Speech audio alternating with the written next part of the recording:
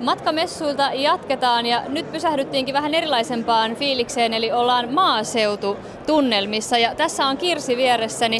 Missä päin maaseutua me liikutaan?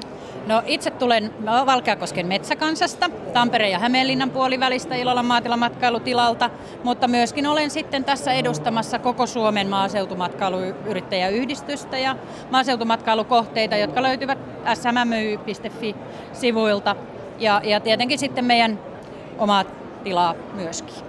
No jos ollaan matkailuautolla liikkeellä, niin miksi esimerkiksi kannattaisi poiketa siellä teidän maaseutupaikassanne Ilolassa? No meillä on Ilolassa pihaleirintää ollut jo useamman vuoden ajan, myöskin ruoka- ja majoitus- ja, ja ratsastuspalveluiden lisäksi.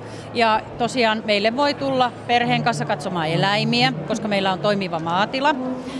Kotieläimet on tärkeä asia ja tietenkin ratsastus on yksi semmoinen hyvin tärkeä vetovoimatekijä. Ja totta kai karavaanarit ja, ja matkailuautoilijat, niin jossain niidenkin tarvii vähän tankata itseäänkin. Kyllä, pitää hmm. huolta itseään ja hengähtää hetkeksi. Kyllä. Miten sitten tämä Suomen maaseutumatkailu, niin kuinka paljon kohteita Suomessa ylipäätään on?